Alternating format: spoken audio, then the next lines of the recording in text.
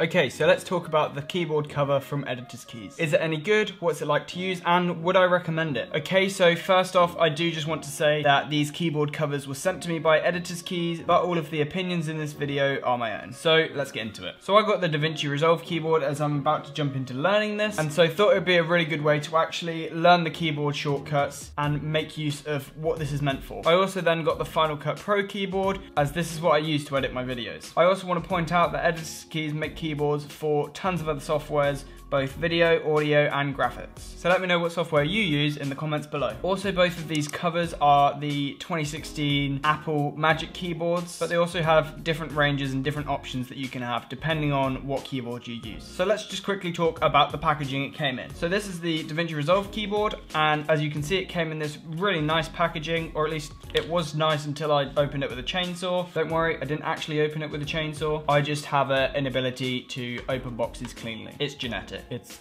definitely not genetic. But in the packaging, you get the cover and you have some little bits about it on the back. So let's take the cover out and it sits in this little slip here. And then from there, you get this piece of card that it just kind of sits on and yeah, it really just means getting out the box is a lot easier because with something so flimsy and gel-like, it's quite easy for it to get stuck. And if you don't believe me, then try putting this back in the slip. Okay, so using this is really simple. You just get your keyboard and hook it over and then maybe go around the edges, uh, pushing them down a little bit, really just making sure it's hooked on, but it's built in a way that it just hooks on very easily. And once it's on, it's really just a matter of using it. So something you might notice straight away is that on both of these, the actual numbers and letters of what the keys normally do are a bit smaller than normal, so it can be a little bit harder to try and find them and to get the right one, but you'll quite quickly get used to where they are and you'll find that you're not necessarily looking down as much. And because it's such a thin layer, you'll find that it's pretty much just the same as typing without it, except a bit quieter. Did I mention it was quieter?